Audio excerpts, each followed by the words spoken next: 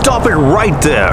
What? What are you doing with that hydrogen peroxide? I'm going to add hydrogen peroxide to my garden. There has to be a reason to use hydrogen peroxide.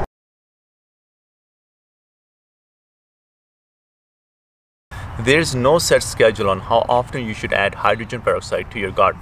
You should only add hydrogen peroxide to your garden when there is a need.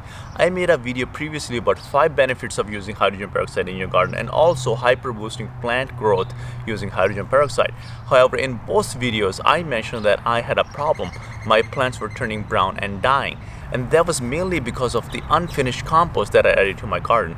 Unfinished compost creates an anaerobic process in the soil which locks up nutrients in the soil and also deprives plant roots of oxygen. So hydrogen peroxide is very beneficial in this instant. Adding hydrogen peroxide to your soil will actually help to decompose the organic matter much quicker and also provide a lot of oxygen to the roots of the plants. Adding hydrogen peroxide to your garden will kill off anaerobic bacteria which is the bad bacteria and also aerobic bacteria which is the good bacteria. It will kill off bad and good microorganisms. However in our garden we need a healthy balance of microbes. Plants thrive on the microorganism activity in the soil. Over time when hydrogen peroxide decomposes the byproducts are water and oxygen.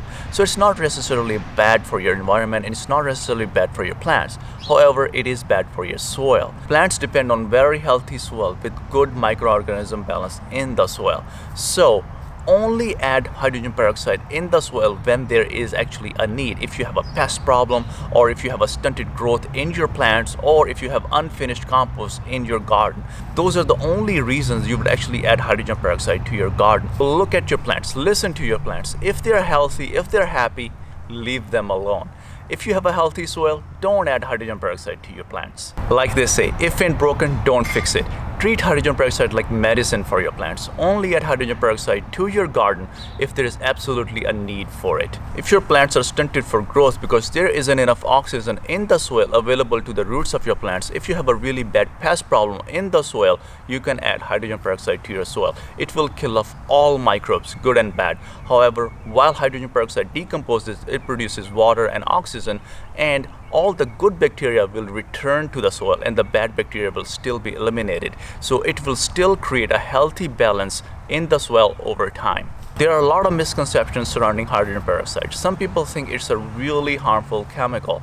It is used in hospitals to treat wounds. It is used to sanitize equipment. It is used in hydroponics to sanitize equipment and also sanitize growing medium as well. Hydrogen peroxide is approved by EPA to be used outdoors and the only byproducts are water and oxygen.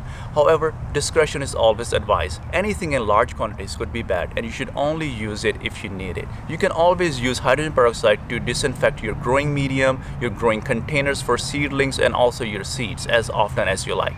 I really hope this cleared up some of the misconceptions about hydrogen peroxide and also provided enough information to safely use hydrogen peroxide if you have a need to. If you like the video, hit the subscribe button and I'll see you in another video.